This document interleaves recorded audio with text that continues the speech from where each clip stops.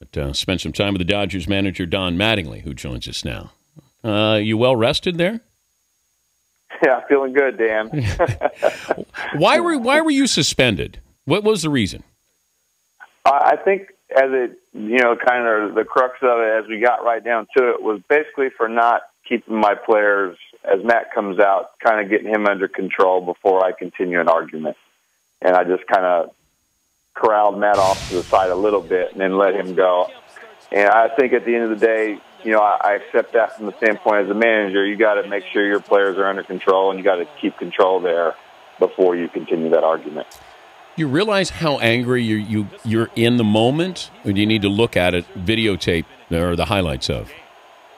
You know, it's funny because uh, a couple of people have told me perception-wise, it looks like you're ready to just hit somebody, and on the inside, I'm just kind of mad. I'm not really. I, I would. I'm not. I don't really feel like I'm out of control at all. So, I like when when Hillman's taking me off the field there, I go, I'm all right, you know, in a, in a calm way. So I'm not really out of control. I'm just, you know, I think I just get loud and get moving my hands. They call it when I start flying. They know I'm in trouble.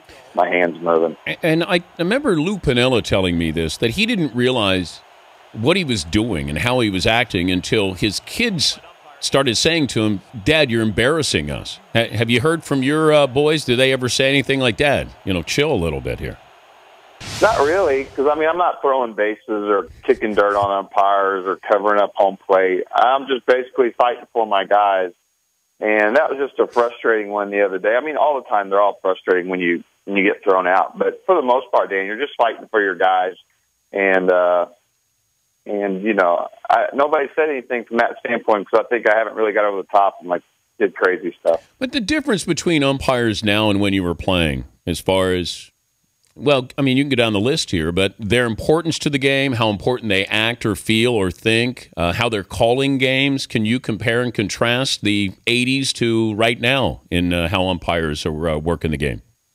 You know what? It's it's a lot of the same. And I've always liked the umpires. I always look at the umpires as kind of part of the part of the deal. You know, you kind of know these guys by name. Uh, most, you know, for me, ninety nine percent of them are, are really good and handle it, everything right. And and then there's a few that you can't talk to, and those are the tough ones. The ones that think they're always right and you can't talk to. Uh, for the most part, you know, if you see if you get if I've gotten in an argument with an umpire and got thrown out of the game and I see him later, I'd be like, "How you doing?" You know, sorry about that. I got a little crazy. And then it's over, you know? And it's not really anything personal in those situations. It's just that you're fired up over the game. But Donnie, you just said something that you, there's certain umpires you can't talk to. I mean, how silly well, is that? Well, that's that's always been the case, though. You know, that's what I'm saying. It's not really any different. Uh, a lot of guys are really good. You can come out and, and you can talk to them and ask them a question. Other guys you can't question. And I think the younger guys in general, when I was in the fall league, I remember questioning a call like that ball's down, and instantly the guy looks over and starts screaming like at me, and I'm like, wow. Well, I mean, this has been going. I mean, the the the bantering from the dugout has went on from the very first day I ever got to the big leagues, and it's still the same. Guys are going to banter the umpire a little bit. The umpires that that deal with it the right way never have any problems. You know, it's the ones that can't keep their head out of the dugout and constantly over there and wanting to talk back all the time are the ones that have trouble. If the the good umpires they keep their head straight and they'll listen for a while and when they've had enough they'll just look over and say, Hey, I've had enough. I heard you. and then it's over guys know when to stop. But the guys that can't handle it, then the guys just keep pounding. Well, off. the problem is they got rabbit ears, Don. I mean, that's that's they they they hear everything. They're overly sensitive. Instead of just calling a good game, they seem to factor in way too much, and that's the problem I got with you know some of these guys think they're really really important. Well, that's what I mean. Some some though, and it's it's a small number. For the most part, Dan, they're really pretty good uh, when you get those calls at first that are like bang bang and, and things like that, they're usually pretty good. Uh, I've found that the plays that are a little out of the ordinary are the ones that they'll miss the most. But there's a lot of movement. You know, guys are going everywhere. All of a sudden, there's a little. It's a little bit of a. You know, it has to be a spur of the moment call, other than one that's just kind of right in front of them. Uh, do you know who's been thrown out of more games this year? than, than me? the answer is no one. You, you're you're number one on the list there, Don. I know. I, I can't. You know what? I I kind of look at myself as kind of calm and under control all the time, but I obviously I'm not. He's uh, Don Mattingly, the Dodgers manager, joining us Dan Patrick Show. Your reaction as a competitor when you heard Melky Cabrera got suspended? You know, it, it's hard as a, as a competitor. You know, you really want to beat teams at full strength. We want to be better than the Giants and be better than them straight up. Uh, but that being said, you want everybody on the field to be playing on the same field and under the same circumstances. So, um, you know, with Melky, it's tough for me. It's personal because you know I had this kid I was hitting coach in New York when him and Robbie Cano came up together, or pretty close together. Uh, I love him. I think he works hard. I think he's a good, uh, you know, a good player. And you hate to see this happen, and you don't know the reasons why or why he did it, but I just hate to see it happen to anybody. And it's where I start I start uh, getting on my soapbox about the testing. It just needs to get better and better, Dan, where guys don't think they can get away with anything. And that would be the best for everybody involved. Best for the fans, best for organizations, best for the players themselves, not doing something that thinking they have to keep up with another guy. Kirk Gibson said that the Giants should be punished as a team. If we hold teams accountable for players, what uh, what do you think that would what would the end result be? You know, I, I I can't. You know, I haven't really thought it out, but you know, you, you kind of look at it like you know, if somebody on your team has been playing all year long and gets caught, it, it should be something. You know, maybe it's you take three wins away, or you take five away, or two away. I don't I don't know what that number is, uh, or even if that makes sense, because you can't give that win to somebody else mm-hmm. because you can't just arbitrarily pick one. But it seems like there should be some type of penalty when when a guy on on your team has been playing a big part of it. You know, ends up he's played a hundred and something games for you. Uh, so there there should be some kind of ramification. It would seem like to me. And you know this, as you've been around this game for such a long period of time. I, I mentioned that guys know about other guys because they either pass or don't pass the sight test. You'll see a guy and you go, damn, he's jacked up. Melky Cabrera used to be a doughy guy, and all of a sudden you see last year and this year. I mean, he's he's puffy. I mean, and, and you knew him when he was coming up. Did did he pass the sight test with you?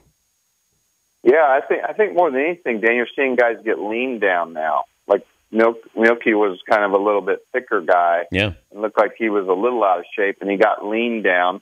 But you know, sometimes you, you see that with people, right? You see a guy that's all of a sudden he loses 30 pounds in real life. And you go, man, you're looking good. What are you doing? I've been eating good and working out, you know? And the guy that you see on the street, you're not assuming that he's doing something. So you just kind of think, hey, Melky didn't like the year he had. He went to work this winter, got back in great shape, and he looks great, you know, and he's playing better. So you, it's it's hard. You don't. I don't ever assume guys are doing it. Uh, it's getting harder though when you see a guy's numbers really change from like what he's been for X amount of time, and all of a sudden his numbers jump to a different level. That's hard to say that just happens naturally. How important is this series for the Dodgers with the Giants? They're all big right now. I mean, this is a fun time of year to be playing. Uh, every game is important. Uh, you feel, you know, I kind of like, I, I always talk, I talk to our guys about like the NCAA mentality right now. It feels like you got to win every night. You know, like you can't lose a game. And to me, that's the best way to play because you play try to trying to play at the top of your game every night. Uh, we've had two funny series with the the Giants too. We we go in there, get swept, don't score, run for three games, and then we basically go in there the next time and do the same thing to them. And so you, you I don't know what to expect here, but I, I expect our guys to be ready to play. Uh, we we're coming off a, a pretty good road trip, seven and three. It's good to be coming back to a series that we got to put your hard hat on right away. And uh, so it, it'll be a fun series. You got a World Series team? You know what? We're getting there. I mean, we're getting our offense is starting to look like the club that can score some runs on any given night from different places now. It's not just coming from one or two guys. We're able to score a couple of different ways, a few different guys. Uh, our pitching has been really good. And I know on paper, our you may not look at Aaron Harang and Chris Capuano as you know, it's not Cliff Lee and Doc Halladay and Cole Hamels, but our pitching did a great job, and we're starting to look like a club that is capable of, of beating it a few different ways, and we're playing good defense. I mean, we got speed in our outfield. Our outfield defense is, is really good. Hanley has solidified shortstop for us. Mark Ellis in the middle of the field. Uh, we're a pretty good club right now. We'll just we're gonna have to see if we can you know keep playing that way to you know get ourselves in. Do you think your home run totals would be different if you were playing in uh, the new Yankee Stadium? Oh, no doubt. Do you No see doubt. Ichiro hit two back to back yesterday? I did, but those are hit pretty good. I mean, when he catches them, he catches them pretty good. But you know, when you we go to Cincinnati and we go to Philly, I mean, we look like a different club. I mean, it's just like the ball flies out of these ballparks, and you, and you see it when guys go. You see, uh, um, I, I can't remember the kid's name, the outfielder for for the Reds now. Went from the Cardinals. Um, ah, can't remember his name. Went from the Cardinals to the Padres, and now he's over with Cincinnati. You know, those are, you know, you go to the Padres. Is it Ludwick? You- yeah, Ludwick's who I'm thinking about. Yeah. Yes. I mean, he had he was having a good year for the Cardinals a couple of years. He went to the Padres, and that thing's a I mean, just like playing in the Grand Canyon if you don't hit it to certain parts of the ballpark. Uh, and you go back to Cincinnati, the ball's going to jump. So you can catch a ball and, not really get it, and it still goes out. That changes your whole attitude at home plate. Well, I, I saw. I mean, the Yankees are built for their stadium, and that's why I say a lot of these teams. The Giants built their team for their ballpark. I, I think that's where you need to have that home field advantage, and the Yankees certainly have that. I mean, you make a mistake to any of those guys inside, you know, certainly left-handed, it's gone. No, no question. They're they're they're some kind of dangerous. You know, then I, I'm kind of actually listening to the game last night on the way. You know, we're flying, so catching part of it. And they talked about how many games they've won with the home run and percentage of runs they score with the home run. And that's just the way they're built. And like you said, the Giants are built differently. They went out and and get Pagan and and Blanco and Melky this year. They put total speed in their outfield. Put three center fielders out there. They got a giant outfield with good pitching, and it's changed the way they play. Will you be suspended before the end, uh, kicked out of a game before the end of the regular season? I hope not. I, I never planned to be kicked out of any You game. none of these you went out there to say I'm going to get kicked out. No, some of them you know you're you're going out there and you're fighting for a guy that your chances are pretty. You know what I mean? You you can't just let a guy hang out there. You know, uh, but for the most part, none of them. Uh, I go out there thinking I'm going out here to get. I'm getting. I'm I'm tired of this game. I'm out of here. You got to get your money's worth, though. well, yeah, you know what? I got to get control of myself. Dan. I, my my wife says the only time I get this mad is when I'm talking to umpires or my ex-wife. So I don't know. Hey, good to visit with you. Good luck uh, in the series, and uh, congrats so far. All right, Dan. Thanks. All right, Don Mattingly. My ex-wife or an umpire? Oh, I think that quote will make the rounds. I've gotten rung up by a few women before in my life.